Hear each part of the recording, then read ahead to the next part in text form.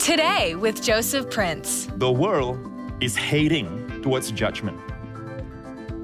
The king is going to return to set this world right. And there will be a millennium rule of our Lord Jesus Christ. Then the gospel of the kingdom will be preached once, once again, all right, before he comes. Then when he comes, that kingdom will be established because finally it's no more an absentee kingdom.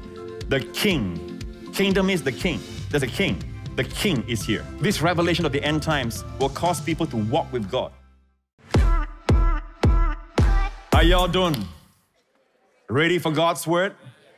Always remember that God's word is God breathed. You might not like the structure or this story or, or what, but whatever is designed is designed by the breath of God. Amen. Uh, secretaries, God's secretaries are the authors like Moses, like Paul. They are just God, God filled, God breathed on them, and they write. Paul's letters are different from Peter's letters. Peter's letters are different from Matthew. Matthew is different from Mark. God uses human personality. Just like God uses human personalities in preaching as well. God does not bypass human personality, but it is very beautiful that when God's Spirit breathes on the human personality, the words that come out is the expression of God Himself. Now, there, there are teachings that says that the ideas are inspired, but the words are not. It's just the idea. Now, that is error. Every scripture is God breathed. In fact, Paul, Paul makes an argument in uh, Galatians when he says, just from one word, God said to Abraham in the Old Testament, God said, In your seed, singular, all the nations of the earth will be blessed. And Paul sees upon it the fact that the word seed does not have S, it's singular. He argues for the fact that this seed is Christ Himself, that in Him alone, all the nations of the earth will be blessed, just based on one letter. Amen? So we, I, I have a sermon on this that I did some time back. Ask the counter for it. But uh, it's important that you understand in the plenary inspiration of Scripture, every word is inspired. Now, when I say that, I mean the original uh, Scripture every word is inspired. That does not mean that, that uh, there are certain expressions that the translators put in to help you understand. Sometimes it's more of a hindrance, like uh, some new translations, new versions. The Greek and the Hebrew of the old is word for word inspired. But man, when man tries to improve on it, it's, con, you know, it's, it's translated into Chinese, into, into uh, Japanese, into uh, uh, different languages, Spanish, or even the, the King James. There are certain expressions you find in italics that is supposed to help you understand. That means it's not in the original. Sometimes it hinders. So keep that in mind. All scripture in its original state is inspired. But we take advantage of all the helps we have we compare the new versions and what it says about this verse, that's perfectly all right. Amen? You ready for God's word? Let's dive right into it. Last week we started with Genesis 18 and how the Lord, such a homely picture in Genesis 18, that God would come to a man's home, amen, share the secrets of his heart, eat with a man, amen, and God brought two angels with him. We know it's the pre incarnate appearance of Christ. But what a homely beautiful, comfortable, restful picture. God at home with his people. Isn't that beautiful? And we saw that uh, Abraham instantly knew his divine visitor. He need not like Joshua when he saw the man with the drawn sword, he had to inquire who he was. Are you on our side or are you on the, the other side side? You know, he had to inquire. Gideon had to inquire. At first, he didn't know the divine visitor. Many of them, they had to inquire, but Abraham, may we all be like him. Instantly, he knew who that divine visitor was. The Bible says he was, he was nearly 100 years old, but we saw last week he ran. A 100 year old man running. Whenever your eye is on the Lord, you run. Amen. Your body will not know it's old. Your body will only know its maker and its redeemer. Amen?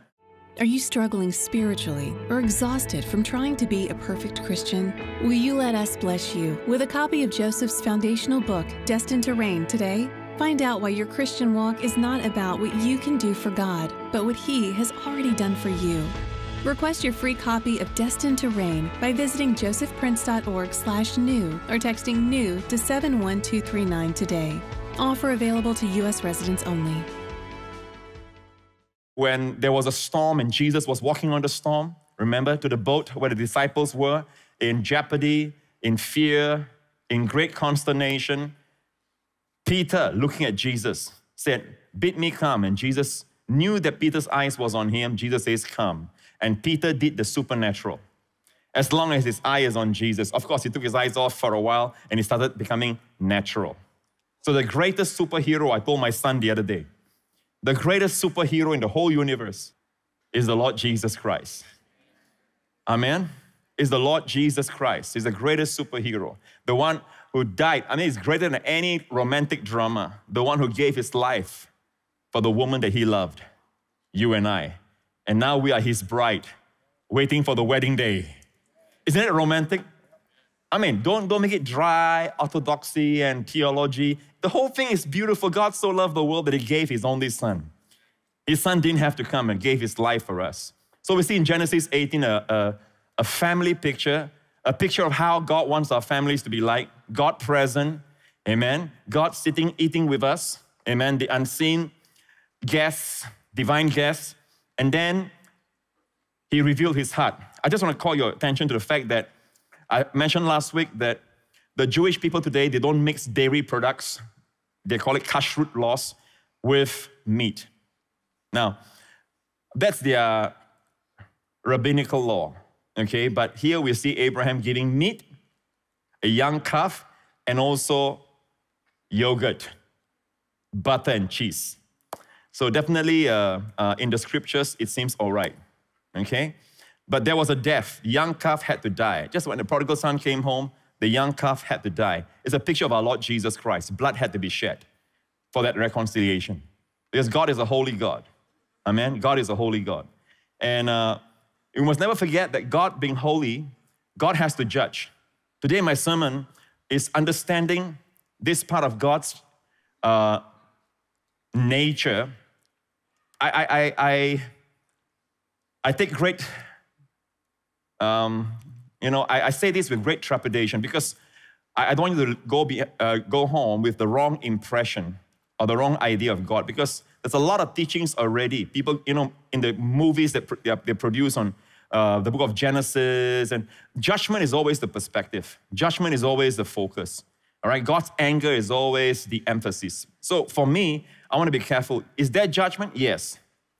Now, Pastor, God is love. God, what God is, His love. Who God is, He is God. And because He is God, He has to judge. There's no one above Him to judge.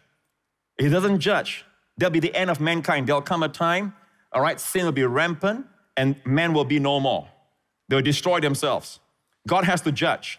But I want you to tell one thing God's nature is not to judge. In Micah 6 8, God says, He has shown you, O man, what is good and what the Lord requires of you to do justice. Say to do justice. To love mercy. Say love mercy. And to walk humbly. Say walk humbly with God. So, three things. God says, do justice, love mercy. And it's an advice, especially to leaders of God's people. God says, sometimes you have to do justice. This is a word to all the magistrates, to all the judges, to all the, the people that have to execute justice. So, the thing is this they have to judge. But as judges, when, even when you judge, you should never love judgment. That's what God says in Micah do justice, but love mercy. Your heart loves mercy, and the word mercy there's grace, chesed, which is translated by Delitzsch, the Hebrew scholar, as grace. Love grace, but do justice. Sometimes we do that for your children. Amen? We discipline them, we do justice, but we love mercy and how fast we are to run to them, so to speak, the moment their heart is soft, you know, they've learned their lesson, amen, how fast we are, right? I mean, normal parents. Amen. So God wants you to love mercy, but there, there, there are Christians, some sentimental Christians who love mercy and also do mercy. That's not God's way. Sometimes you have to do justice. Amen. Your children want you to stop them, give them boundaries. They want you to parent them. Amen. They don't want you to be their best friend. They want you to be their father, their mother. Amen. Friendship comes later. And please don't rob them. They are not orphans. Amen. So here we have God coming to the house and God revealing the secrets of his heart to Abraham and Sarah, saying that this time next year Sarah will have a son. That's been their dream all this while. What a beautiful picture. God eats, God celebrates with them, and then God gives this wonderful news. Amen.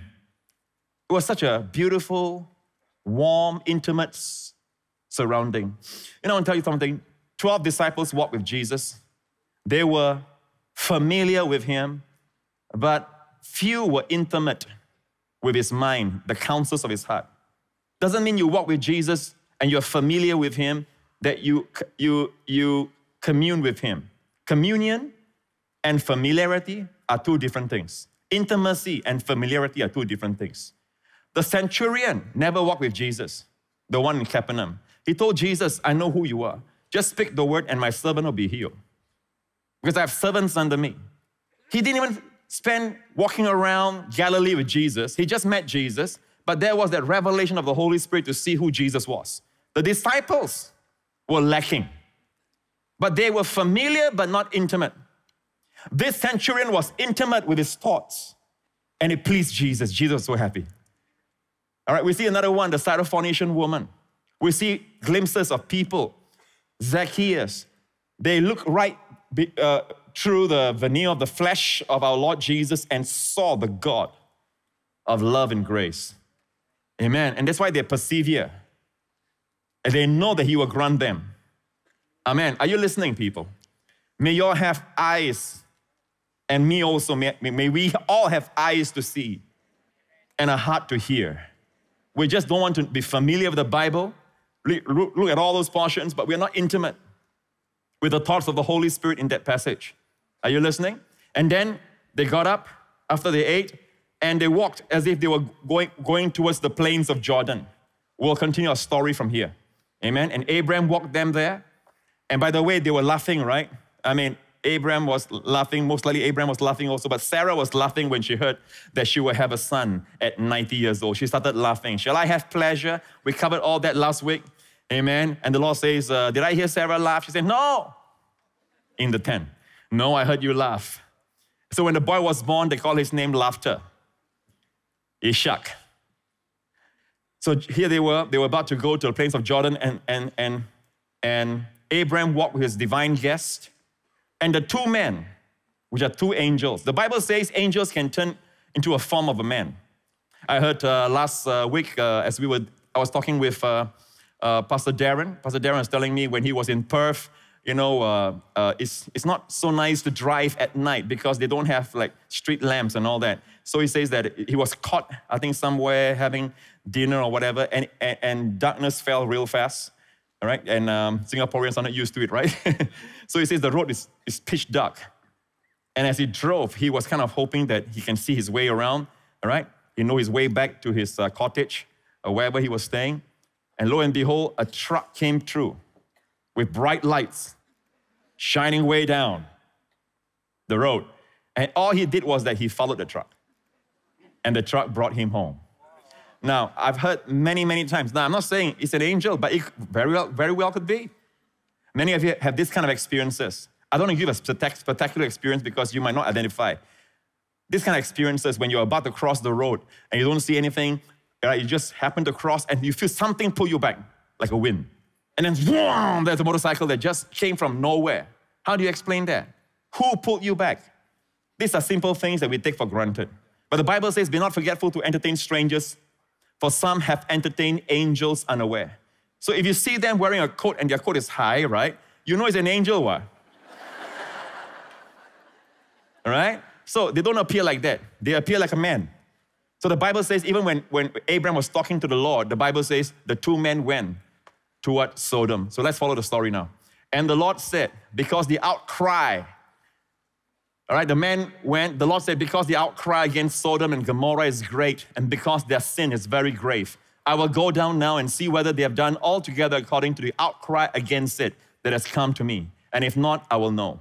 Then a man turned away from there and went towards Sodom, but Abraham still stood before the Lord. So the two angels went towards Sodom as if they knew the mind of the Lord, and they both straight away went. So two of them went. And Abraham was on a higher plane. Hebron is higher, but from Hebron, a distance down, you can see the Dead Sea, and you can see the cities of Sodom and Gomorrah. Amen. Remember when Lot, his nephew, uh, was given the choice because they are shepherds, all right, and caretakers were fighting among each other. And Abraham says, No, it's not nice for us to fight. There are Hittites and Perizzites in the land. You take the right. If you take the right, I'll take the left. You take the left, I'll take the right. What a humble man Abraham is. And the Bible says that Lot saw the beautiful, beautiful, fertile crescent of the uh, uh, Jordan Valley. It was lush, it was green. It's not like today, the Dead Sea area. It was green. There were rivers running. The Bible says like the Garden of Eden. It looks like Garden of Eden. So he's a man that went by sight, Lot. And he chose by sight. Later on, when enemies came to uh, invade and plunder the land, it was Abraham that rescued him. And after Abraham rescued him, tied to, uh, tied to Melchizedek and all that, there's no record that Lot ever tied. Lot went back to the city of destruction. So this is something very interesting. All right? I want to tell you something about what the scripture says. But before we go on reading, I want you to go to Genesis, uh, sorry, 2 Peter 2. 2 Peter 2. If we have 2 Peter 2, yeah. And turning the cities of, this New Testament now, and turning, God turning the cities of Sodom and Gomorrah into ashes, condemned them to destruction, making them an example to those who afterward would live ungodly. Next. And delivered righteous Lot. Underline that, righteous Lot. So Lot was righteous. Today I'm going to share with you about a defeated righteous man. A man who had a family and lost his family. He finally ended up with only two daughters, but it's not a proper relationship. A man who was called righteous, but defeated. Abraham is righteous, but Abraham was exalted when all the destruction was happening. He was on a mountain looking down. I said, looking down. The world is heading towards judgment. The king is going to return to set this world right. And there will be a millennium rule of our Lord Jesus Christ. Then the gospel of the kingdom will be preached once, once again, all right, before he comes. Then when he comes, that kingdom will be established because finally it's no more an absentee kingdom. The king, kingdom is the king. There's a king. The king is here. And the Bible says his scepter is a scepter of righteousness. He will, he will judge for the poor. Amen. And God, I'm going to send my son. Okay? My son will rule, the, the return of the king. This is the return of the king. And when the king returns after seven years of what Daniel prophesied, amen, the, seven, the, the 70th week, week of Daniel, the last part is to be fulfilled, will happen in the three and a half years of great tribulation. All right, Jesus will come back at the end of that great tribulation. Israel will look up and they'll see him return. He will save Israel. Amen. And he will establish his rule from Jerusalem. The Bible says that. And then there are scoffers that come in these last days saying, Where, where, where is the promise that's coming? We hear people preaching on end times and days and today, slowly, slowly, you find that the preaching of end times is now put on the shelf or even totally cast out. The Bible says, Peter says, in the end times, scoffers will come saying, Where's the promise of his coming? Where, where, where? Since our fathers fell asleep, everything has gone as normal. And the Bible says, These people are ignorant of one thing. Okay? This is what the portion says in chapter 3. Next chapter, the Lord is not slack concerning his promise, his promise to return. He's not slack, he's not, he's not slacking concerning the promise of his return. To save us it, before the return of Christ, let me explain. I, am going to say this one more time. I've said this a number of times. The rapture is not second coming. Rapture is a private affair for his church. All right? He says, I go to prepare a place for you. And when I go, I will come again and receive you unto myself. That's the rapture. First Thessalonians talks about, all right, the Lord will come and harpazo in Greek, he will seize us. It's a story all over again of Enoch. Enoch never saw death. Enoch was raptured. Enoch was the father of Methuselah. And God said, flood is coming. And I want, to, I, want to, I want to say something to you. God is not a God that jumps on the gun straight away. Oh, you sin, I'm going to blast you. No. God waited. God waited. God is not slack concerning his promise, as some count slackness. He's long suffering towards us, not willing that any should perish. Not willing.